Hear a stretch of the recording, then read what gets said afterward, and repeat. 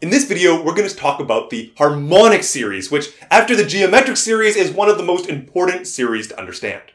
This is the series adding up 1 over n. So 1 plus a half plus a third plus a fourth and so on.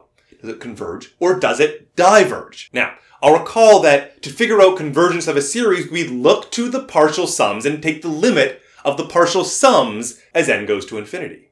So in this case, if I try to figure out what, say, S2 is, well, this is adding up the first two terms, 1 plus a half. Now, I'm going to be a little bit tricky. I'm not going to investigate S3. I'm going to skip right to S4, which is 2 squared. And if I investigate S4, it's 1 and a half and a third and a quarter. But notice how I've highlighted the 1 third and the 1 quarter? Whatever this is, this is going to be bigger than if I replace the one third with just another one quarter. Isn't it bigger than one plus a half plus a quarter plus a quarter? I'm, I'm doing this little inequality here. I'll, I'll show you why in a second. Well, if this is the case, a quarter and a quarter is a half. So I have a one plus one half and then another half. That, that is to say, I have one plus two halves. So it's certainly bigger than that. Okay, let me skip again and I'm going to go to S sub 2 cubed, that is s sub 8. And I have to write it down a little bit smaller, so I'm going 1 plus a half plus a third plus a fourth plus a fifth plus a sixth plus a seventh plus an eighth. And I'm going to do a similar kind of trick. The one third I'm going to say is indeed going to be bigger than the one fourth. So I'll do that. I'll replace the one third with the one fourth. But I'm also going to replace the one fifth, the one sixth, and the one seventh with one eighths. So I have four different one eighths, and I have this inequality as a result. And then in much the same way that the quarter plus the quarter added up to a half, four copies of an eighth also adds up to one half. So I have one plus a half plus a half plus a half, which is three halves. So indeed we have one plus three halves. So notice the pattern here. When I take s sub 2 to the power of n, it appears to be bigger than 1 plus n divided by 2. So I haven't worried about the rest of the partial sequences, and I have an inequality here. Whatever this S sub n is, is actually bigger than this thing.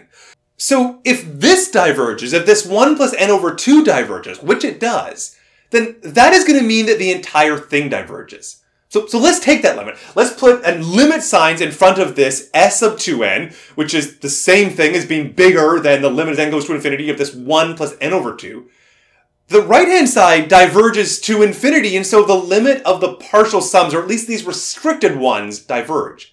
But even if just some of the partial sums diverge, as long as it regularly goes off towards infinity, then the whole thing diverges. It can't get close to a finite number like 1. Every once in a while, it gets as large as you might wish. So what do we say? The harmonic series diverges. Now, the harmonic series is actually really, really cool. Not because it diverges, and it is an example of one that diverges, but because it diverges incredibly slowly. So, for example, suppose you wanted to get to the value of 2. You wanted to add up some number of these terms from the harmonic series, you want to get to 2. Well, if you take one and a half and a third and a quarter, adding those four terms gets you over 2. So you only need four terms to get to bigger than 2 how many terms do you think you might need to add up to say, oh, I don't know, what's not so large? A hundred, okay?